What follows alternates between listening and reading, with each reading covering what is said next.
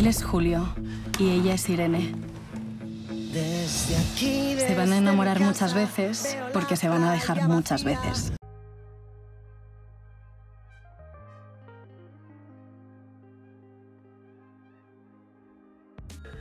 Pues mira, la idea realmente surge de, una de la guionista de Almudena, que, mm, que cuando me la propuso me pareció súper arriesgada y no sabía cómo iba a machear bien una historia de amor con, con el momento del atentado, pero esa idea se me fue quedando en la cabeza, ya no me pude deshacer de ella y creo que después tenía muchísimo que ver con lo que yo quería contar. Es decir, en las comedias románticas generalmente el amor es más grande que la vida y aquí no, aquí nuestros protagonistas están enamorados pero después la vida siempre les interrumpe, ¿no? Y que mayor interrupción que algo como una bomba, ¿no? Y después también tenía mucho que ver con, con lo que yo siento que es Madrid y lo que yo cuento de Madrid, ¿no? Que es casi una fiesta y yo me acuerdo perfectamente que cuando ocurrió eso, pues Madrid se convirtió en la cosa más triste del mundo y nos costó a todos mucho superarlos. Y me apetecía mucho poner a, mis protagonistas ahí en el centro de eso, ¿no?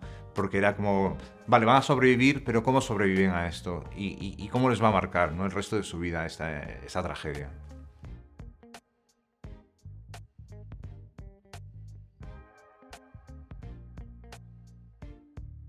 Ah, qué bien, muchas gracias.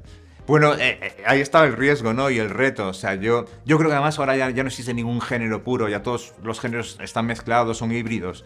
Es decir, ya, ya no existen las comedias románticas, ya no existen las películas de acción, ya, ya es todo una mezcla de, de, géneros. Entonces a mí me apetecía mucho, pues eso, que contar una historia de amor, que tuviera ese aliento romántico, pero con una clave realista. Y si metes el realismo, tienes que meter el dolor, tienes que meter la tragedia, tienes que meter la frustración. Y bueno, y, yo creo que ahí salen siempre las, historias más chulas, ¿no? Que puedas conseguir ese equilibrio. Siempre tienes el, miedo de no conseguirlo, y sobre todo cuando tratamos un tema tan delicado como, como un atentado terrorista, siempre, siempre piensas, ¿qué van, van, a pensar las víctimas, los familiares de las víctimas? ¿Se van a sentir ofendidos, molestos? Pero a llega un momento que te tienes que despojar de todo eso y decir, bueno, no, yo quiero contar esta historia y creo que estoy siendo honesto contándola y, y voy para adelante.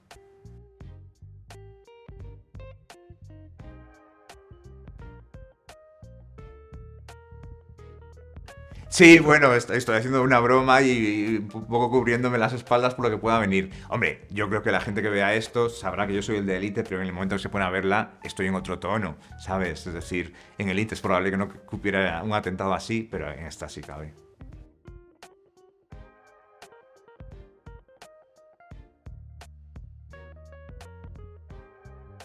Mucho, muchísimo. Yo siempre digo que Irene soy yo, la verdad. Sí, sí, sí. A ver, en todas las historias que crees, que creas siempre hay un componente evidentemente biográfico. Al final uno escribe con lo que es, con sus sentimientos, con su corazón.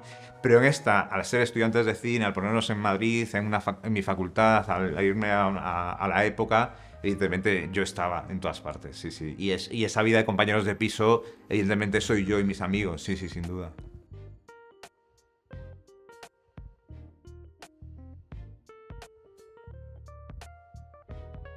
Sí, no es mérito mío, ¿eh? Yo ahí eh, tenemos una asesora musical maravillosa, después Diego Betancor, que es el otro productor ejecutivo, siempre es el que está muy encima de, las canciones y la verdad es que yo ahí me fío ciegamente de él, porque yo musicalmente soy un poco lerdo, un poco inculto, y aunque todas las músicas, eh, ahí hay varias canciones que sí he decidido yo, como, la del arranque y alguna más, pero en general les dejo a ellos. Yo siempre intento delegar las cosas que peor hago, que las haga gente que las hace bien.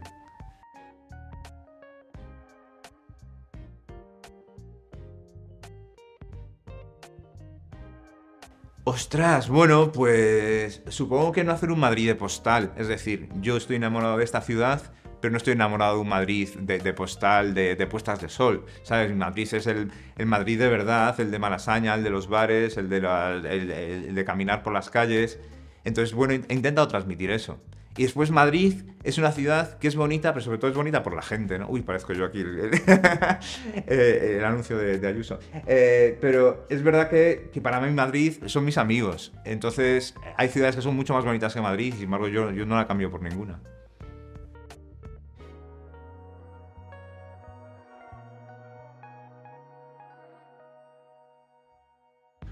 Eh, bueno, ¿sabes qué pasa? Que yo no sé cuáles son esas ideas con, las que he llegado al éxito. Yo sé que he llegado al éxito, pero creo que podría hacer muchas eh, disquisiciones sobre cuáles son las claves de ese éxito. Y a día de hoy no las sé. Si las supieras, seguramente las repetiría.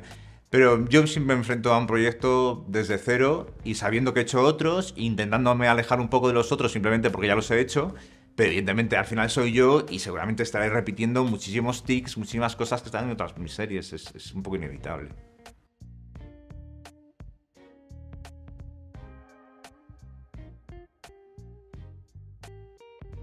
Bueno, yo creo que a mí me encanta transitar en el género, ya sea el romántico eh, o el dramático, de acción o un thriller, pero después darle tu toque, ¿no? Al final lo que importa es tu visión sobre las cosas. En este caso, la comedia romántica está teñida de, realismo y también de nostalgia, y el hecho de hacerla transcurrir pues, en un entorno tan claro como es la universidad y estudiantes de cine, ya hace que la comedia romántica se vaya convirtiendo en otra cosa.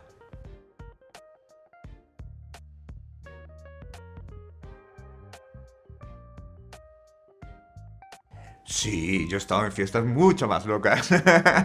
yo creo que las fiestas que hay en esta... Sí, la, del primer capítulo es loca, pero yo he estado en, fiestas bastante más, sí, sí, sí.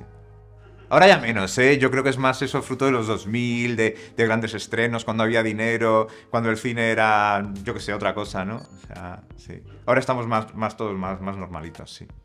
Más domesticados.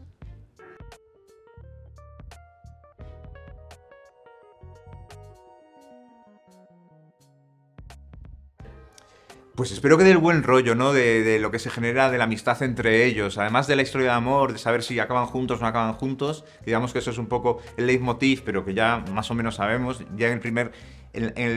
la serie empieza diciendo Irene que es una serie que ya sabemos como lo que va a pasar, ¿no? Y es verdad que sabemos lo que va a pasar y no, pero creo que lo más bonito es el buen rollo que se genera entre los compañeros de piso.